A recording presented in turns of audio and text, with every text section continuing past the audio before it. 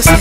의사 선생님이죠? 예, 저는 박덕 파파독입니다 아니 글쎄 저희 집 아이들 말이에요. 다섯 꼬마 원숭이 침대 위에서 깡춤깡춤 뛰다가 떨어졌대요.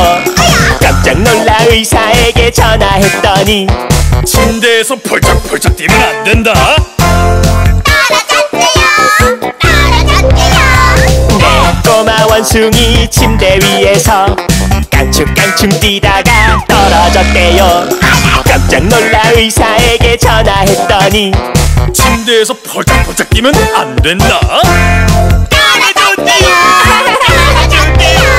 새 꼬마 원숭이 침대 위에서 깡충깡충 뛰다가 떨어졌대요 깜짝 놀라 의사에게 전화했더니 침대에서 펄쩍펄쩍 뛰면 안 된다.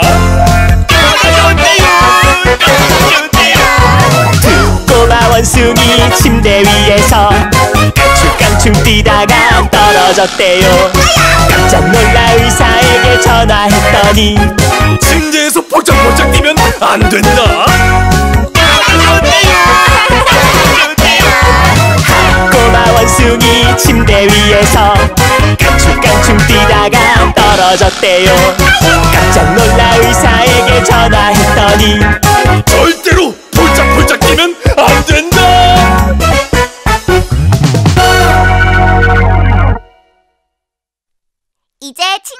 불러줘.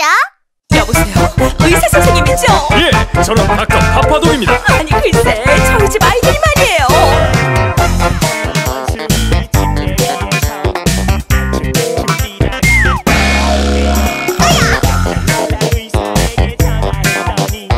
침대에서 펄쩍펄쩍 뛰면 안 된다.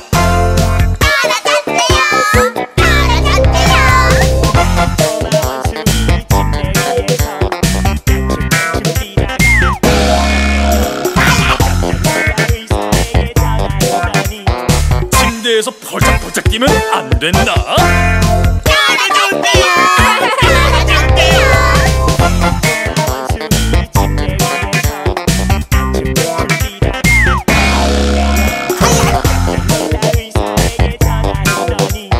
침대에서 펄쩍펄쩍 뛰면.